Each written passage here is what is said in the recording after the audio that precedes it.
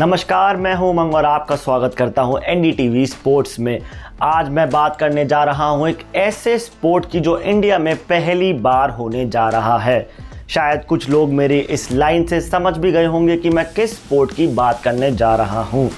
India में पहली बार bike racing का सबसे बड़ा international event moto GP Noida के बुद्ध इंटरनेशनल सर्किट पे होने जा रहा है। यह वही सर्किट है जहाँ कार रेसिंग का सबसे बड़ा इवेंट फार्मूला वन 2011 से 2013 तक हुआ था but due to some reasons continue नहीं हो पाया। अब मोटो जीपी की हाइप कंट्री में बहुत क्रिएट हो गई बट स्टिल ज़्यादातर लोग उसके बारे में तो जानते ही नहीं हैं। लेकिन आप चिंता ना करें, इस इवेंट का पूरा फॉर्मेट मैं आपको समझाऊँगा। So let's begin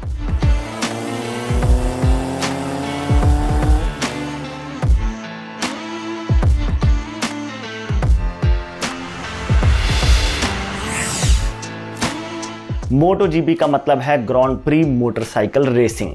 इसके एक पूरे सीज़न में 21 रेसेस होती हैं। मोटो जीपी की एक रेस 100 से 130 किलोमीटर की होती है, जो अराउंड 45 मिनट्स तक चलती है। अगर इसके स्टैंडर्ड लैब्स की बात करी जाए तो वो 20 से 30 लैब्स के बीच होते हैं, जो डिपेंड करता है ट्रैक के डिस्टेंस पे। नोएडा के बुद्ध इंटरनेशनल सर्किट की लेंथ 5 किलोमीटर्स की है, और इस रेस में 24 लैब्स होंगे, जिसका डिस्टेंस अप्रॉक्सीमेटली 118 किलोमीटर का होगा। अब जान लेते हैं मोटो जीपी में कितनी टीम्स और राइडर्स इन्वॉल्व हैं। मोटो जीपी में 11 टीम्स इन्वॉल्व है, जिसमें हर टीम में दो राइडर्स हैं। मोटो जीपी में भी F1 की तरह दो चैंपियनशिप होती है। राइडर चैंपियनशिप और कंस्ट्रक्टर्स चैंपियनशिप चैंपियनशिप में जो टीम और राइडर आखिर में सबसे ज़्यादा पॉइंट स्कोर करता है, वो चैंपियन बन जाता है।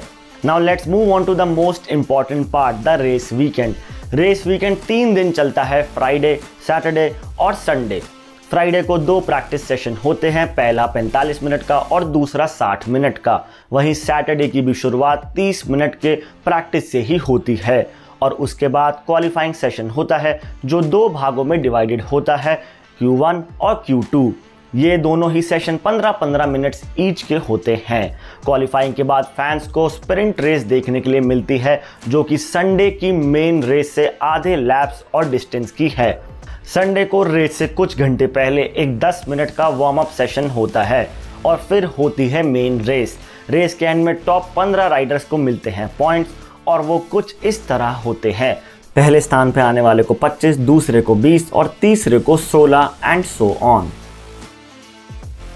इस वीडियो में बस इतना ही। अगर आपको ये वीडियो पसंद आया तो लाइक सब्सक्राइब और शेयर करना ना भूलें। और हमको कमेंट बॉक्स में ज़रूर बताइए कि आप और कौन से स्पोर्ट पे कोई एक्सप्लेनर वीडियो चाहते हैं।